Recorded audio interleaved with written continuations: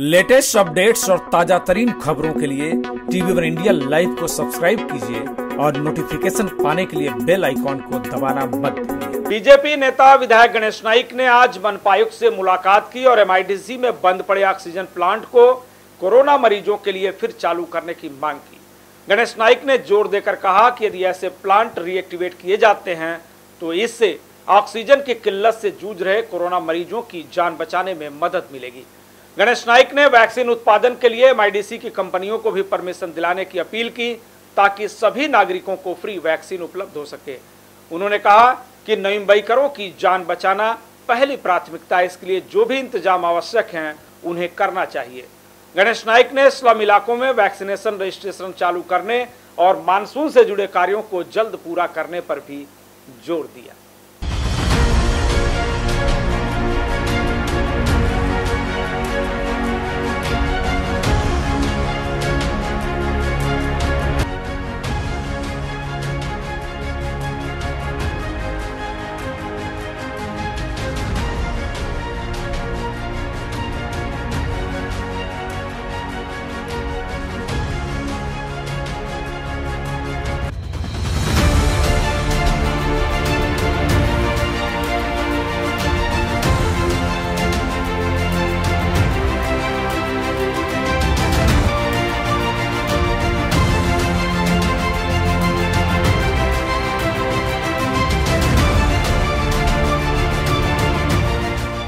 BJP नेता विधायक गणेश नाइक ने आज मनपायुक्त से मुलाकात में नवम्बईकरों के लिए जल्द से जल्द कोरोना वैक्सीन देने की मांग की।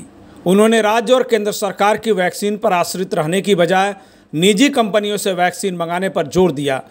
बीजेपी विधायक ने विश्वास के साथ कहा कि आज नवम्बईकरों को फ्री वैक्सीन दो, बदले में नवम्बईकर उसका पैसा भी लौटा देंगे।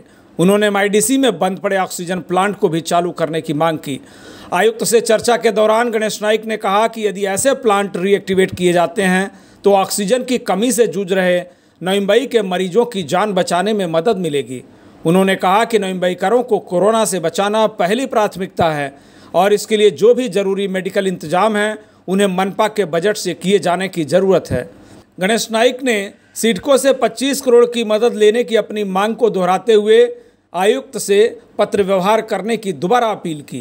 गणेश नाइक ने स्लम इलाकों में वैक्सीनेशन रजिस्ट्रेशन चालू करने और मानसून से जुड़े कार्यों को भी जल्द पूरा करने पर ज़ोर दिया। आइए सुनाते हैं आयुक्त से मुलाकात के बाद उन्होंने और क्या कुछ कहा।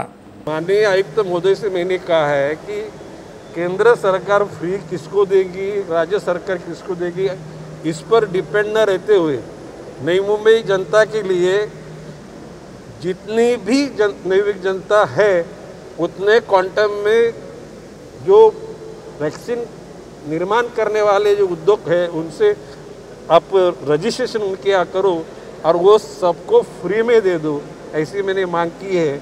और ज़रूरत पड़ी तो नई मुंबई की जनता ये जितना पैसा खर्चा हुआ है उतना पैसा महापालिका को दे देगी इतनी गारंटी मुझे आहे साधारण आठवड्यामध्ये माननीय सिडकोचे एम डी त्यांना मी म्हटलेलं आहे की नवी मुंबई महानगरपालिकेला कोविड सेंटर उभारण्याकरता पंचवीस कोटी रुपये द्या.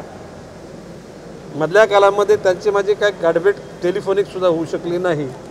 मान्य आयुक्त महोदयांना मी त्याला सांगितलं की मी तुम्हाला पत्र त्याचा तुम्ही पाठपुरावा करा. भविष्य काळामध्ये नवी मुंबईच्या जमिनीवर सिडकोचा उभारणी झाली.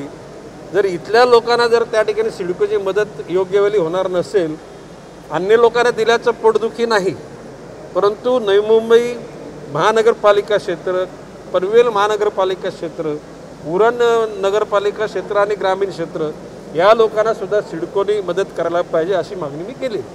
झोपटी भागात राहणाऱ्या लोकांकडे कुठले मोबाईलसुद्धा काही लोकांकडे नाहीत. ते लोक असे काही बुकिंग करू शकत नाही आणि म्हणून त्या ठिकाणी रजिस्ट्रेशन करण्याकरता त्यांनी मागणी केलेली आहे. त्याचबरोबर अवेअरनेस देण्याकरता अशा वर्करचा वापर करावा सुद्धा अशी मागणी केलेली आहे.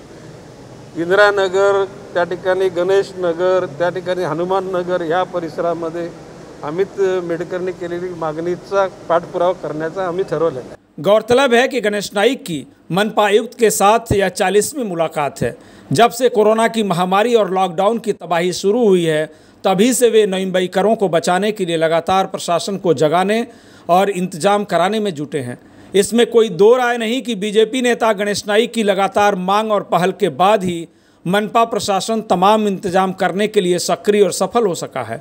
ज़ाहिर है उनकी पहल नवम्बईकरों की जान बचाने में मददगार बन रही है। Bureau report TV one India.